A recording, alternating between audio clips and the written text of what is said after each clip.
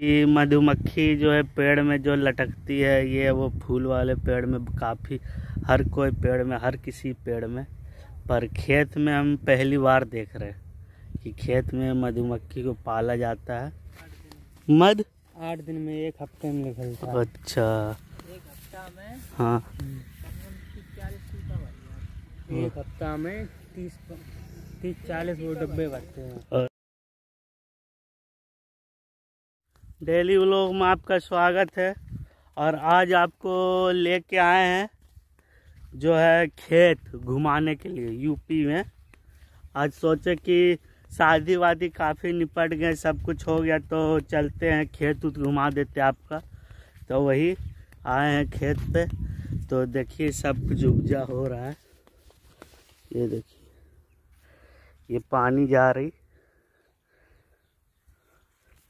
Engine चालू है आगे ये सरसों रोपा हुआ है देख रहे वाह पूरा हरा भरा है और यहाँ पानी चालू है इस tubewell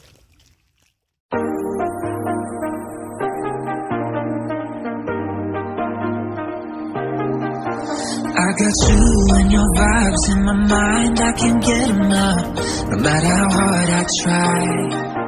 I need you and your hardness to mine. Yeah, I'm all about keeping you and I. When you're here. एकदम खेत के पास आए हुए हैं एकदम सब अपने अपने काम में लगे हुए हैं एकदम सुकून लग रहा है चारों तरफ़ इधर खेत ही खेत है दूर दूर तक जो है घर नहीं है तो हम बोले क्यों ना आज खेत घूमा जाए तो सब खेत में काम कर रहे हैं सब दूर दूर तक कुछ नहीं है देख रहे हैं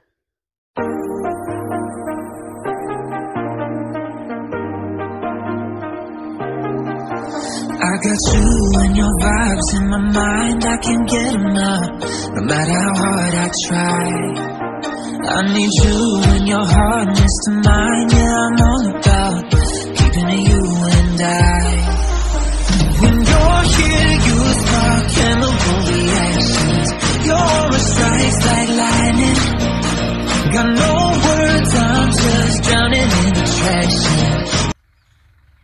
Guys तो अभी काम चालू है सरसों सरसों लगा हुआ है। और ये तो तैयार हो गया है सरसों और यहाँ पे काम चालू है। यहाँ पे अभी रोपा गया है कुछ दिनों में। और एक आध महीना में ये भी तैयार हो जाएगा इस, इस इसके तरह ये भी तैयार हो जाएगा। तो गाँव में काफ़ी सुकून लग रहा है। तो सोचा आपको घुमा दे। गाँव शादी तो आपको दिखा चुके हैं तो गाँव भी दिखा रहे कितना प्यारा है कितना प्यारा लग रहा हरा भरा सरसों। पीला पीला पीला उसका फूल, वाह। इतना अच्छा वाइब आ रहा, पूछिए मत। तो एक दो दिन और रुकना है, फिर घर चल जाएँगे। इसलिए बोले शादी वादी का तो वीडियो आपको दिखा चुके अब बोले थोड़ा खेत खलियान दिखा देते हैं। अब मेरा भांजा का जो है खेत है, मेरा जो है, क्या से बोलते हैं, जीजा जी का तो उसका उस तरफ़ है। तो उधर भी दिखाएँगे। तो बने रहिए, कितना अच्छा लग रहा है। मिलते हैं फिर। देखिए ये यहाँ पे दवाई पड़ रही है देख रहे ना? हम्म, खेत में पूरा दवा पड़ रहा है।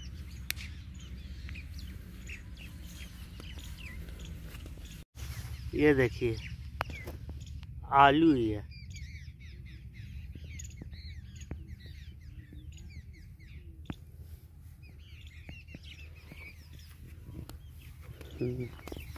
आलू और सरसों अभी यही सीज़न है ना? अच्छा। उसके बाद?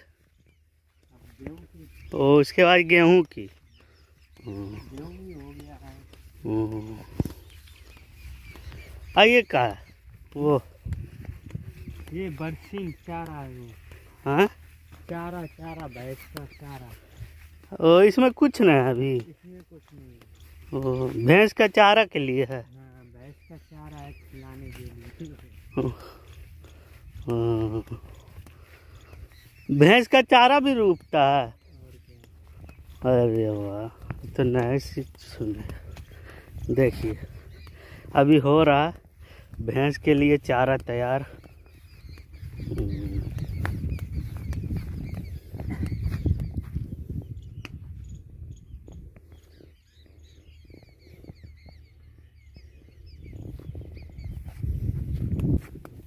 इधर आलू है इधर चारा है जो भैंस का चारा उगेगा।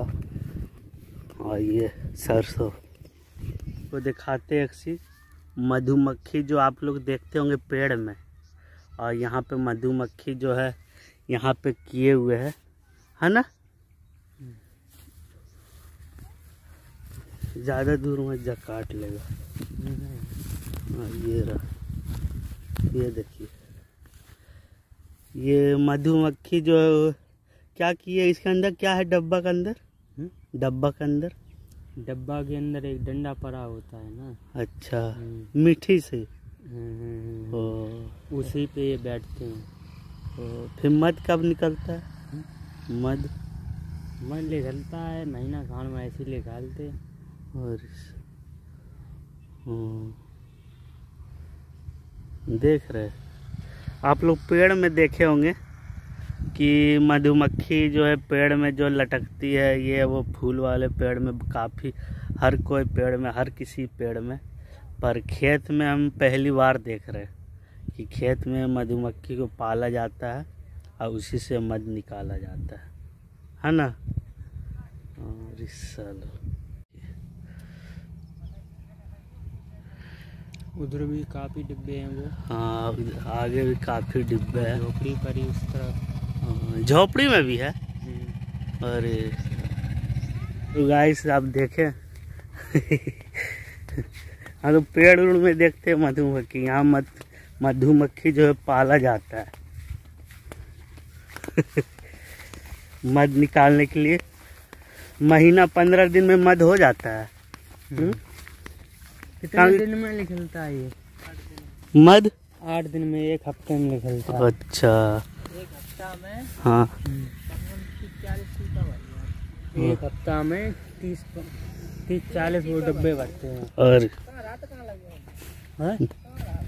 हम बहुत दूर रहे हम तो बेबर रहते हैं। पप्पू घर है।